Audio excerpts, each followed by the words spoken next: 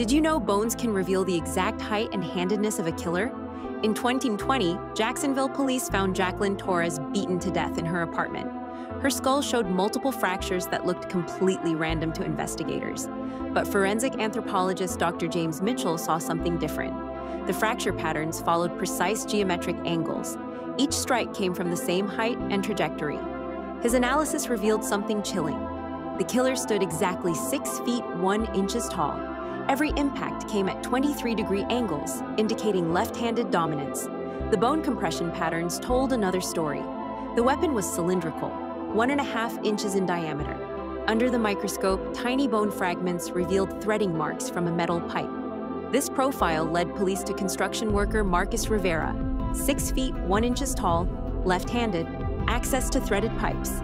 When Rivera confessed, his measurements matched exactly what the victim's skull had already revealed. The bones never lie.